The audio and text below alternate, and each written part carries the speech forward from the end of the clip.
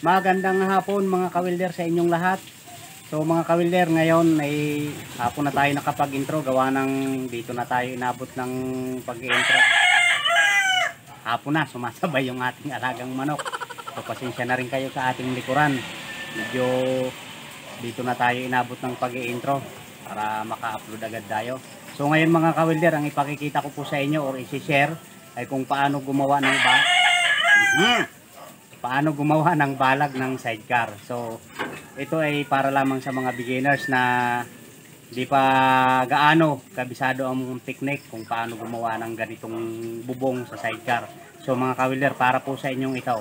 Pero bago tayo magsimula, kung bago pa lang po kayo sa aking channel, uh, please subscribe na po. Paklik na rin ang notification bell, siyempre, para update kayo para update kayo palagi sa aking mga bago pang video na i-upload. So mga kawilder, sumasabay yung ating alaga. Pasensya na kayo.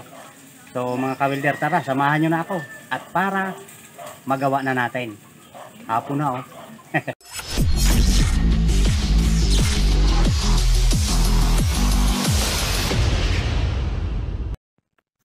so ito na isa mga kawilder, naliko na natin yan. Yung po ay bubong sa sidecar pinakabalag niya bago mag-upholstery.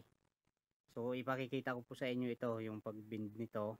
Mano-mano lang tayo mga kawilder uh, okay na yan. Nagawa na natin ngayon. Babalik tayo sa umpisa ipakikita ko po sa inyo kung paano iliko ito ng mano-mano.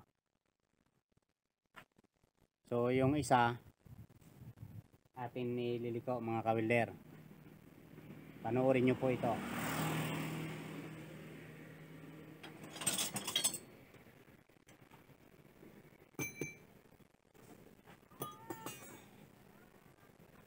So ito po ay pinaka pattern natin siya. Ayan. pinaka pattern ito para magaya natin. Ito ay bubong sa sidecar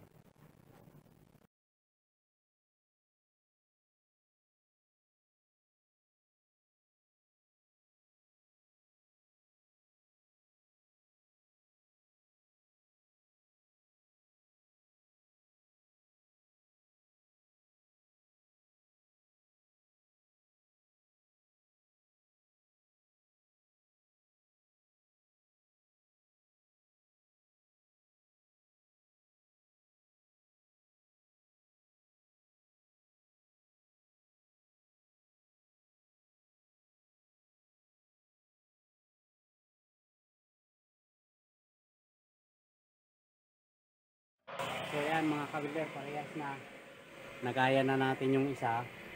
Pero kung halimbawa ang lapad ng bubong ay 32, kailangan susukatin natin ang gitna niyan kung magiging magiging ano siya, kalahati ng 32 siya bago gumawa tayo ng isa para parehas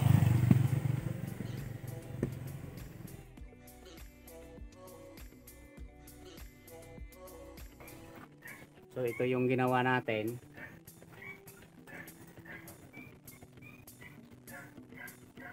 Ayan.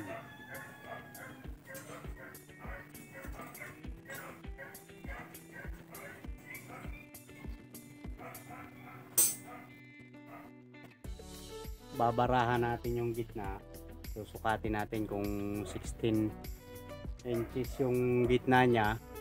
Tapos saka tayo gagawa ng isa para maging 32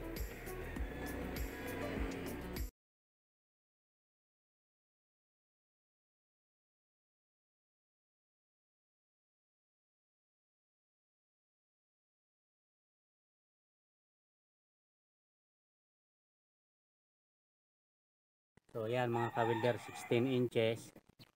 Tapos dito ayan medyo kulang siya. Ibubuka pa ng konti natin yung unahan para gumaya dito. Ang susundin kasi dito nasukat yung sa ibaba yung dito sa bandang likuran. Dito mga kawilder yan. Dito tayo kukuha ng 16 Tapos, gagayahin natin to dito. Kailangan naman ng sukat ng 16 inches mga kawilder bago dito sa pagliliko dito. Dito ang sukat papunta rito sa kabila. Kasi dito iba na ang sukat niyan. Kaya kailangan dito tayo susukat bago dito sa sa pinaka likuran niya.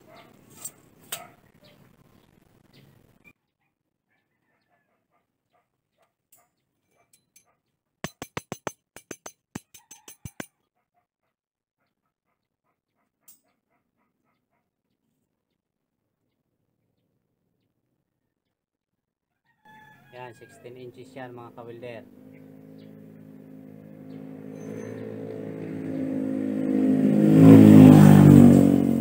Yan, okay na. Parehas na sila. Kasi, ipaliliwanag ko lang mga kawilder, itong pattern na to ay ginagayahan lang natin yung pinaka liko niya para hindi pangit kaya meron tayong pattern ng ganito. Pero sa sukat kailangan doon tayo susukat. Kukuha tayo sa gitna para parehas ang pinaka buka ng bubong natin.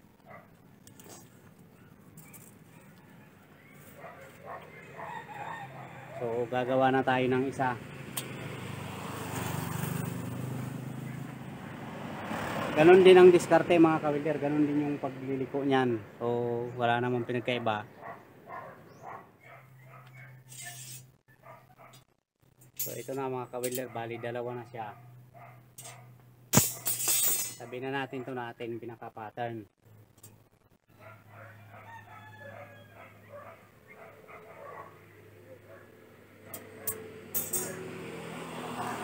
So ang haba naman ito na pambubong na ginawa ko mga kawilder ay 60 inches ang haba.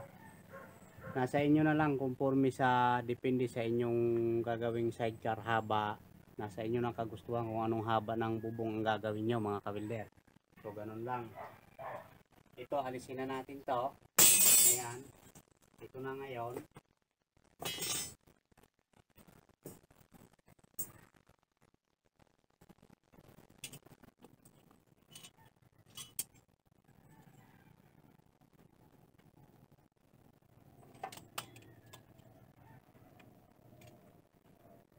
Tapos nagputol tayo nito sa